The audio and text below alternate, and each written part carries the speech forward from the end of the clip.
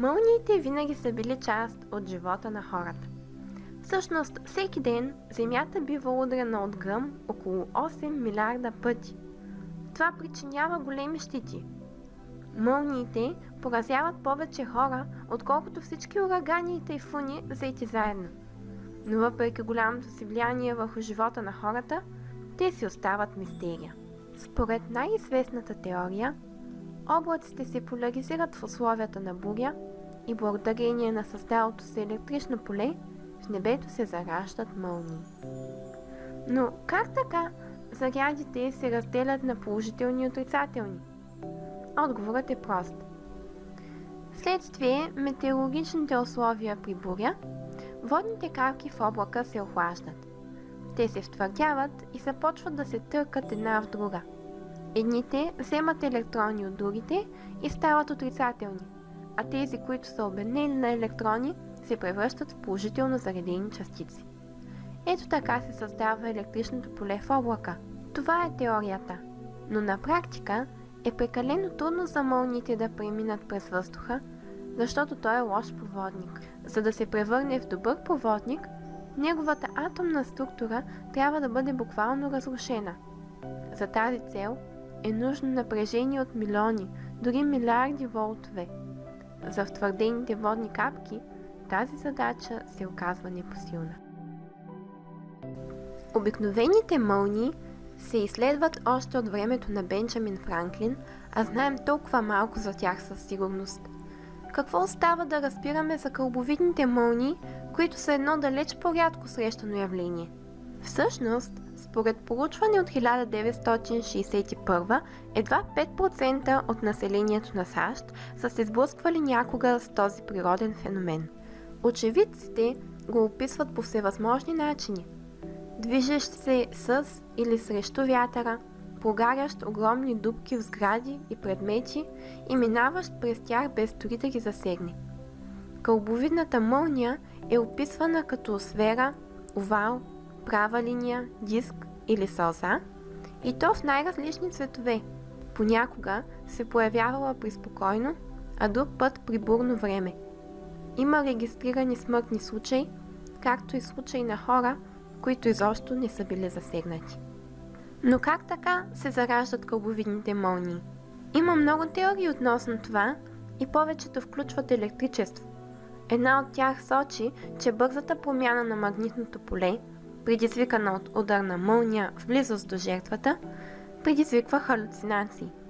Заради промяната в магнитното поле, неутроните в мозъка на човек се активизират и това предизвиква припадъци и виждане на определени обекти. Но тази теория не обяснява физическите наранявания при някои жертви, както и факта, че кълбовидните мълнии понякога се появяват при спокойно време. Друга хипотеза предполага, че понеже в мълниите се съдържа силици, когато те ударят земята, силицият се изпарява. Когато той започне да се охлажда, неговите частици продължават да бъдат свързани от електричния заряд и така оформят сфера. Тази сфера свети поради взаимодействието на веществото с кислород. В лабораторни условия това е било постигнато, като чист силиций е бил сублимиран под въздействието на електричество. Но и тази теория не обяснява много от необикновените явления. Освен това, не става ясно как към девицата се образува чист силиций, защото в нея той съществува под формата на диоксид. Една от най-необикновените теории предполага, че кълбовидните мълнии са всъщност малки черни дупки, но много учени определят тази хипотеза като напълно несъстоятелна. Може би, най-доброто обяснение за появата на кълбовидните мълнии е това на австралийския учен Джон Уолк.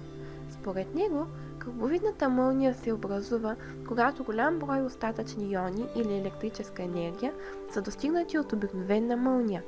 Тази теория обяснява преминаването на кълбовидната мълния през стени и прозорци, оставяйки ги незасегнати. Според теорията, обикновените мълнии буквално помитат случайните остатъчни иони и електрическа енергия от различни места. След това, тези иони могат да попаднат от външната страна на прозорец на самолет, например, И ако от вътрешната страна на стъклото има иони с противоположен знак, то тогава се образува кондензатор. Негов диелектрик е стъклото.